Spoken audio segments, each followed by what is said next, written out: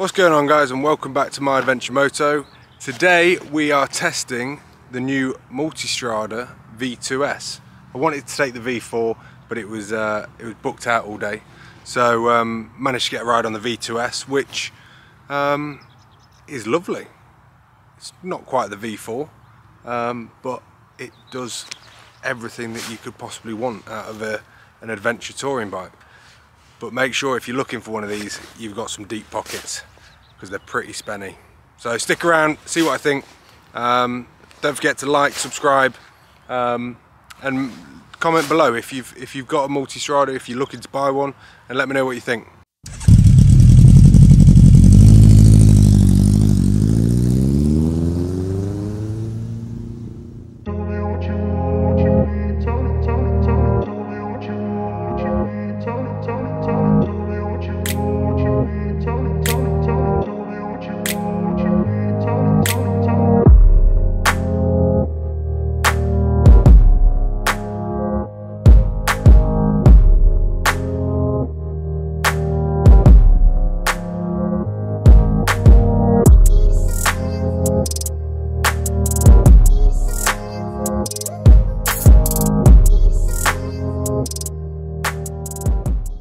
are here at Ducati Nottingham going to test ride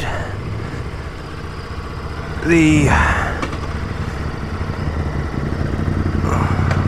Multistrada V2S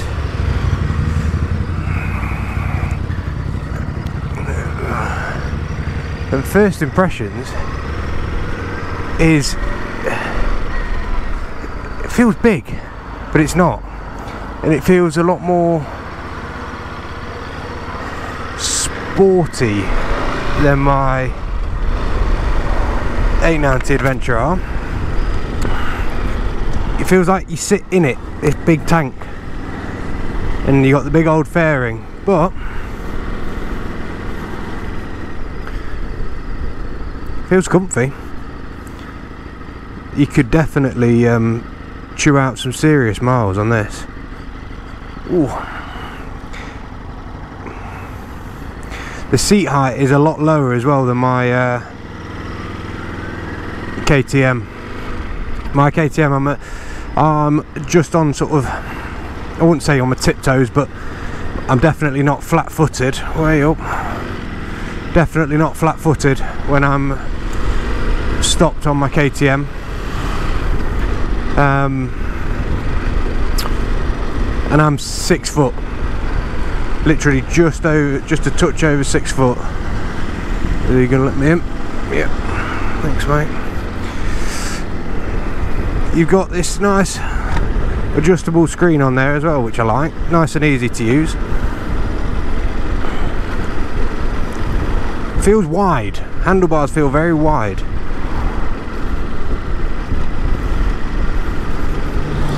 and I've never ridden a Ducati before.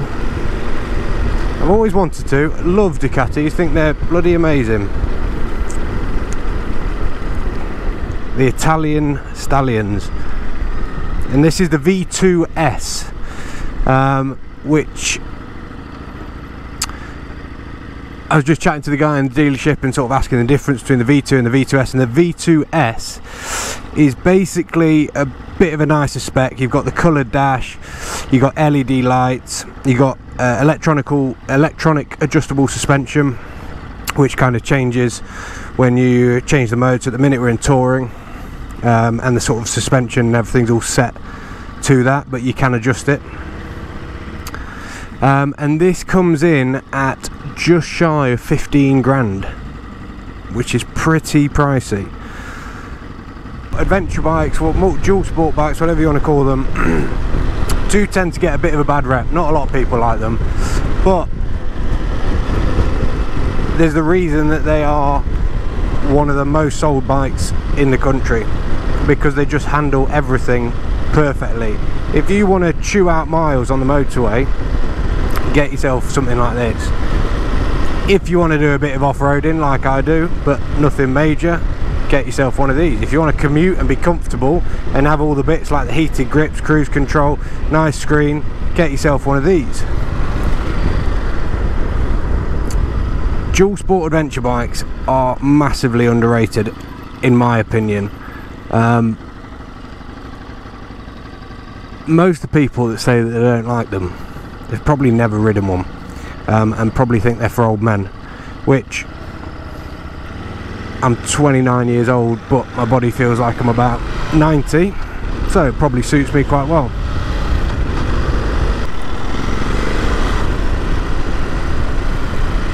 Nice Tiger 900 oh one thing I have just remembered is that this this has got uh, road tyres on. And my bike does not have road tyres so means we could probably have a bit more fun with this. One thing as well I forgot to mention on the S version it does come with a quick shifter up and down which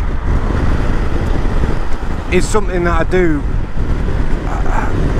since having it I just think is a is a vital thing to have. Right let's get this cruise control set see where we are. Is it just me or is this bouncing up and down a bit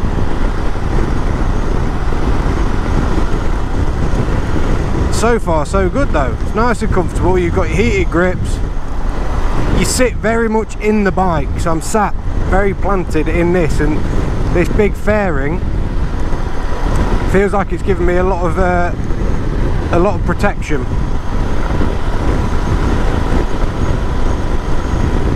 To uh, let's put it into sport mode. There are close throttle so it's in sport mode now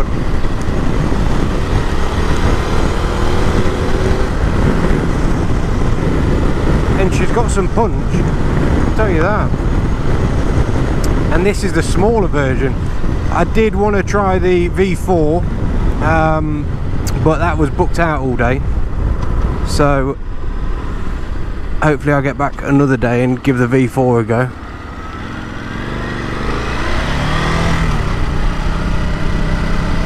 But you can definitely uh,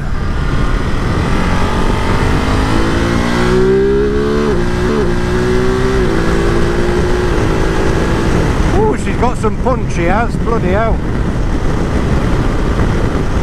Little extras over this the standard V2S um, it's got things like fog lights which they put on um, and they put a full pannier system which actually looked really nice. And how quick it was for them to take it off for me I didn't really want to go riding with full full set of luggage when I'm just taking this out for a quick little blast one thing it does have is self-cancelling indicators which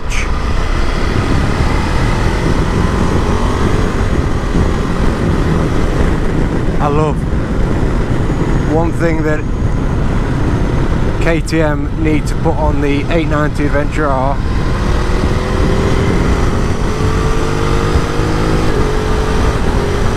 is self-cancelling indicators.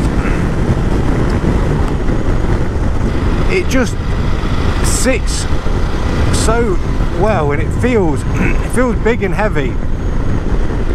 But I think that is the beauty of adventure bikes is that although they are big and they are heavy you can you still can throw them around and have a bit of fun with them. You can you don't have to dawdle and cruise. You still can throw it into corners with the right tyres on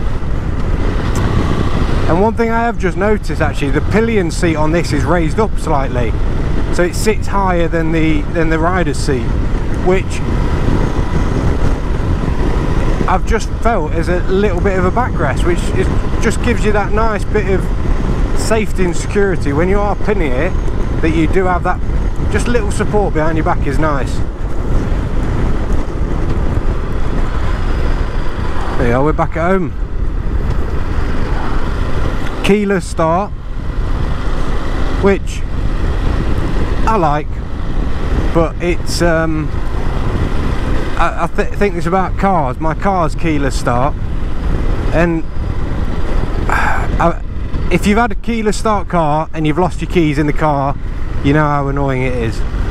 It's cool, it's techie, but is it needed? You've got to put your keys somewhere, so you might as well put them in a slot. But hey, it's 2022.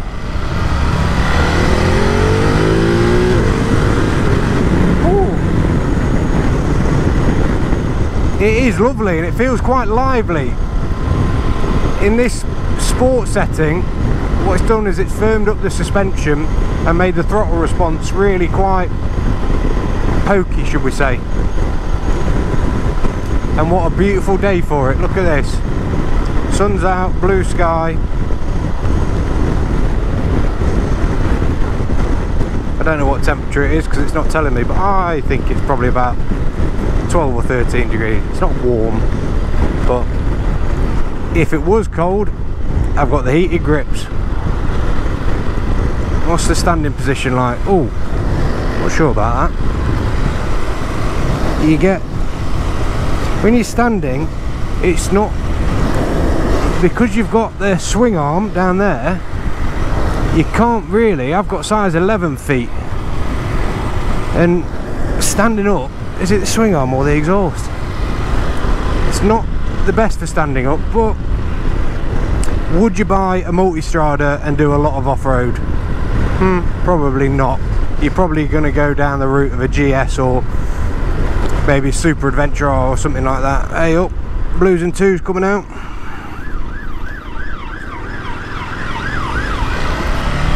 So I, I don't see this as a bike for someone who's going to be doing a lot of off-roading on it but you would like to have that option. And it does have so you've got sports touring urban which I think is a nice setting to have. So if you're just pootling around the town um, and then you've got uh, enduro mode as well which is a bit more off-road focused. Although with these tyres I would not be going off-road. The cruise control on this you, it's it's cancelable with uh, either brake or clutch. But one thing it doesn't have and that the last few bikes that I've ridden with cruise control have is you have the roll off on the throttle. So you can just blip the throttle forward just as it's only a millimeter or two but that just cancels the cruise control which I just think is nice. So you don't have to pop your clutch or tap your brake just to um, cancel the cruise control. You can just literally blip the throttle forward but this doesn't seem to have it So this is uh, the the V2S is 936cc and punches out about 87 newton meters of torque, which means you sure can give it a bit. And she doesn't half fly, I tell you that, and this is only the V2 it's got a very nice planted position. It feels very sturdy. Okay now alright. And yeah you can lean it into a corner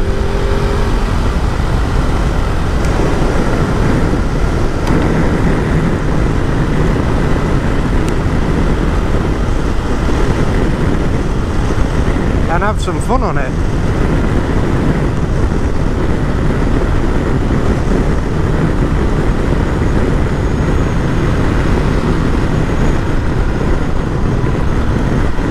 So what we're in, we're in fourth now.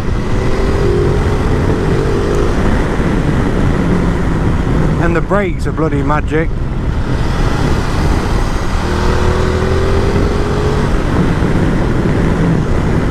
So it is a punchy little thing.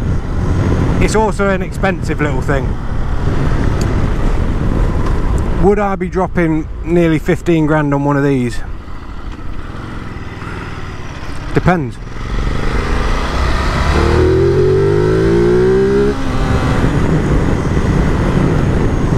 Depends what I wanted a bike for.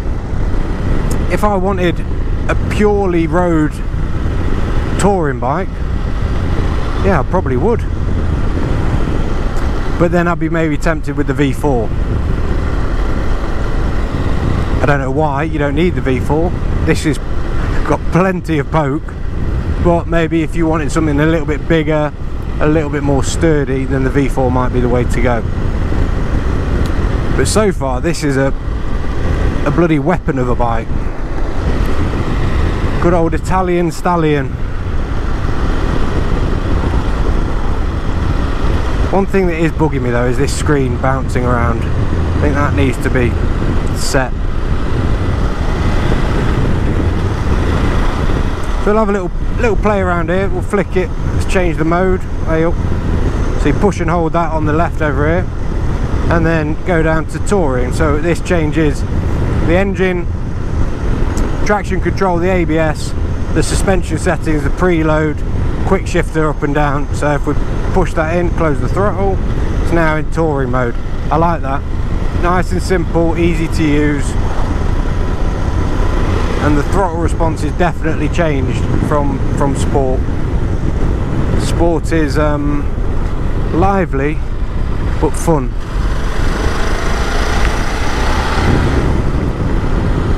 It is amazing, and I know Ducati have a following similar to that of Harley's of people just have Ducati after Ducati. And they are lovely bikes. I can't imagine having a bike without cruise control now.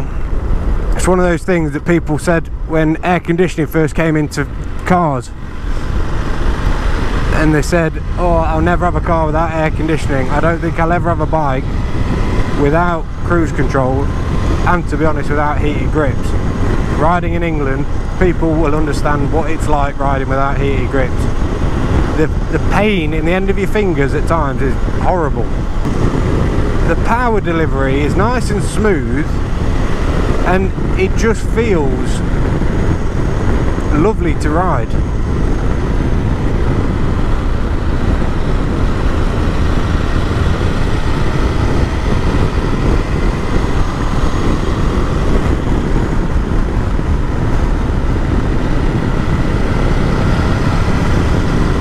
It's smooth, it's punchy, it's comfortable.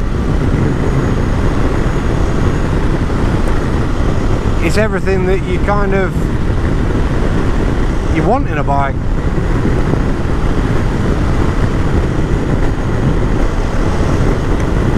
So I hate to say it, but I would say this is more comfortable than my KTM. That's nothing against my KTM at all, but this is it's it's designed to be a bit comfier, isn't it? It's designed to be uh, a mile horse and just churn out miles and go around lanes like this. Perfect.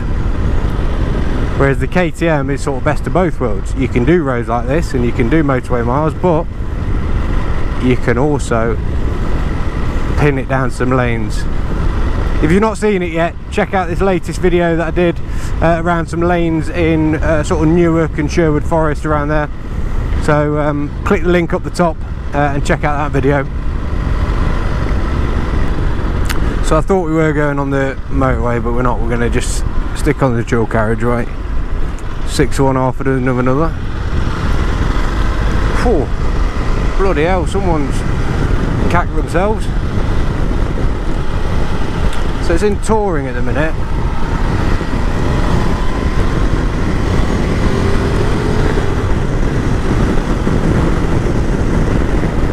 Let's get that screen up. Get a bit more wind protection. I love that quick adjustment on the screen. Just means that when you put, put it in cruise, when you're riding along, you can get on the motorway, the dual carriageway, whatever, flick the screen up and away you go. God it does smell. I come down this road every single day and I've never smelt that. Four. smells worse than my Labrador's cack.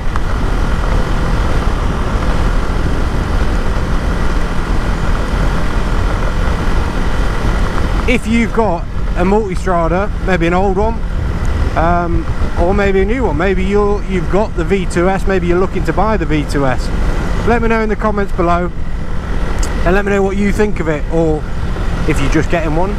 Um, let me know why you're buying one. Because for me I think this is one of the nicest bikes I've ridden but it is also one of the most expensive. See there it is again. I need to cancel my cruise now but just flipping it forward doesn't do it got a quick tap on the brake.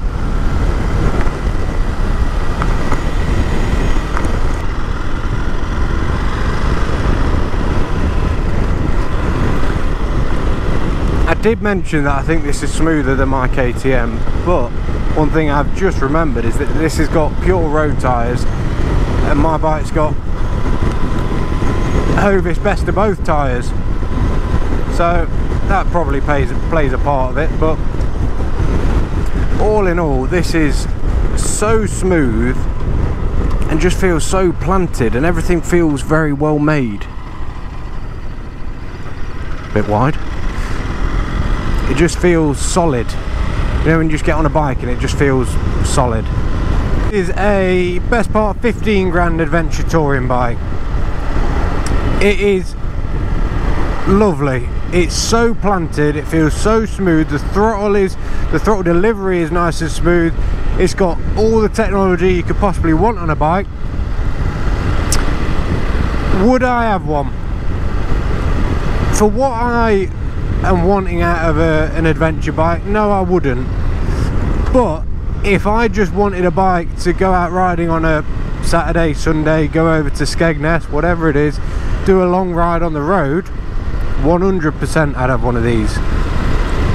I'm looking forward to testing the V4 um, and I'd probably end up down that route but I don't I, I couldn't rule this out if I wanted a, a, a, purely road specific bike and I know that it can do off-road it's got the enduro settings you could put some Hovis best of both tyres on um, and enjoy it off-road um, but then I look at it and go well it's a 15 grand lovely Italian bike. Would I want to put it down on the dirt? I probably wouldn't. Um, so if you're looking for a midweight because it is a midweight at 930cc um, if you're looking for a midweight adventure touring bike and you've got some pretty deep pockets then the Multistrada could well be for you we've got my man on a Suzuki that's another bike I haven't ridden actually. I would like to ride a Suzuki.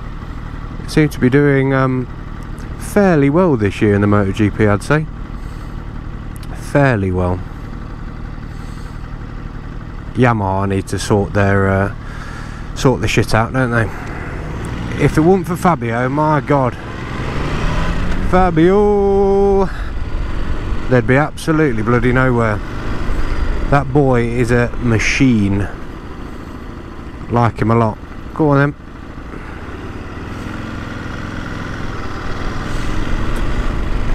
In fact, that's a bike I might try and take out is the uh, Tracer GT and see what that's like. Last year I rode the uh, Tiger Triumph 900, uh, I think it was the GT Pro I rode, and that was lovely. Um, the thing is, that when you're talking 12 13 14,000 pounds for a bike in this mid mid-weight adventure dual sport category there's not really any bad ones. There's preferences. There's things that are going to be more tailored towards you. But there's nothing really that's a bad bike. I don't think I've ever got on a bike and gone oh this feels horrible some people would say that about my Harley but I love that. And yes it's like riding a big tractor but a big cool tractor. So we'll get this back to the dealership head back home take the dogs out for a walk because it's nice and sunny. Sorry mate. And uh, oh we need to come across here The only thing I would say that has frustrated me a little bit about this bike, when you're spending nearly £15,000 on a bike, you want it to be premium. And that, this TFT display, when you're in low revs and you give it a bit, God, it bounces around like a bloody pogo stick. I don't know whether you can see that, but it's all over the shop.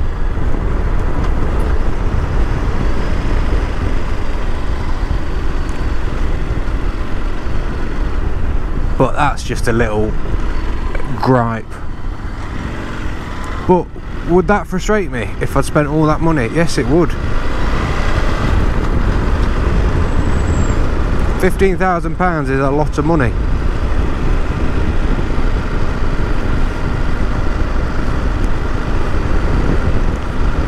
But that's just one little thing. You've got everything else. You've got your heated grips, you got your fog lights, you've got your crash bars, you got your four different modes, you got your adjustable screen, and you've got a bike that bloody cruise control thing doing me again. And you've got a bike that looks the absolute bollocks, rides beautiful, and is a uh, a fine piece of Italian engineering. Hey, oh.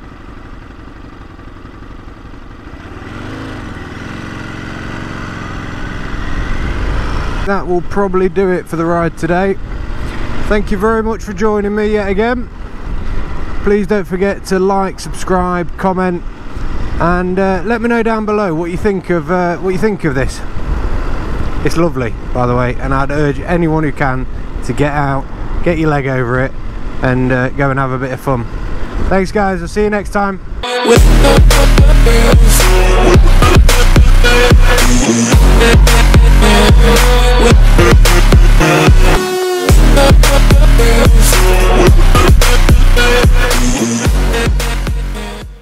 So when I was mentioning about standing up and having my feet caught, it was on this exhaust cover.